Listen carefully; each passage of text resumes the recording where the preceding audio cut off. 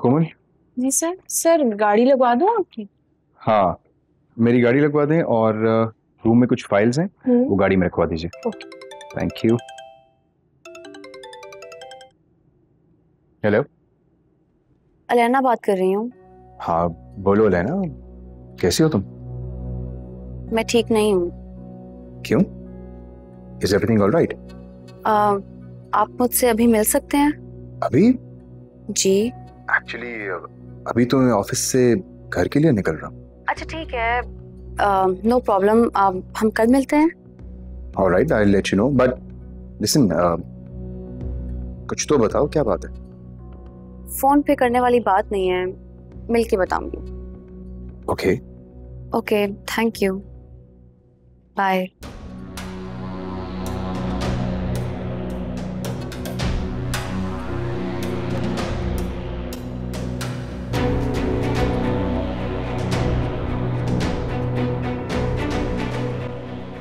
Natasha मामा जी बेटा इधर हूँ मैं। अस्सलाम वालेकुम मामा।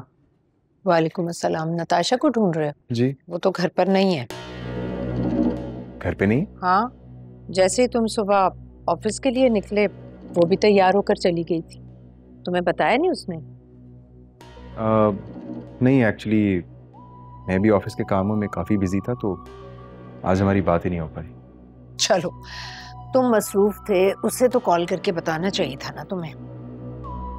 भूल गई होगी मामा शौहर कोई भूलने वाली चीज़ नहीं है। वैसे पता है बड़ा अजीब सा बिहेव कर रही है नताशा। पहले तो अपने कमरे से नहीं निकलती थी अब जैसे ही तुम ऑफ़िस के लिए निकलते हो वो भी तैयार होकर कहीं चली जाती है। मुझे बताना भी गवारा नहीं करती वो। डोंट वरी मैं बात करूँगा समझा दूँगा उसे। नहीं नहीं तुम उसे कुछ मत कहना, वरना उसे तो यही लगेगा ना कि मैं उसे पसंद नहीं करती, इसलिए तुम्हें उसके खिलाफ भड़का रही हूँ। हकीकत तो ये है कि उस हादसे के बाद मेरा दिल नताशा की तरफ़ से साफ़ हो गया। लेकिन मुझे लगता है कि नताशा का दिल मेरी तरफ़ से साफ़ नहीं हुआ अभी। नहीं ऐसी बात नहीं है, मामा। कुछ वक्त लगेगा, लेकिन आई एम श्योर कि उसे अंदाज़ा हो जाएगा, आप उसकी दुश्मन नहीं है।